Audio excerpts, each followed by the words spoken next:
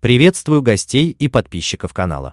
В этом видео расскажу вам о том, какие комментарии дали Аня Щербакова и Александра Трусова после церемонии награждения медалями Олимпиады в Пекине. Начнем с Ани Щербаковой. Она выразила признание, что золотая олимпийская медаль самая тяжелая в жизни. Она рассказала о своем хорошем самочувствии и большом желании увидеться с родными и близкими. Также фигуристка выразила признательность всем тем, кто за нее переживал во время выступлений.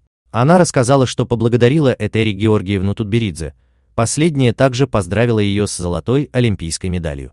Она также рассказала, что после той драмы, которая произошла после объявления последних оценок на соревновании, у нее совершенно закончились все эмоции. Однако полное отсутствие эмоций не помешало ей не расстроиться и не стесняясь радоваться золотой олимпийской медали. Она поделилась тем, что хотела бы участвовать в чемпионате мира по фигурному катанию, однако загадывать столь преждевременно о новых титулах пока рано. Со слов Анны надо продолжать работать.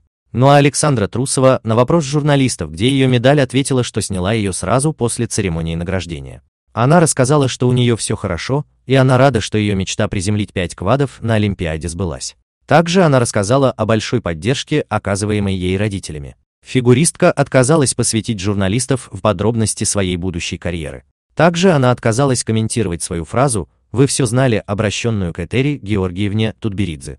Ну и одной строкой информация о соревнованиях спортивных пар.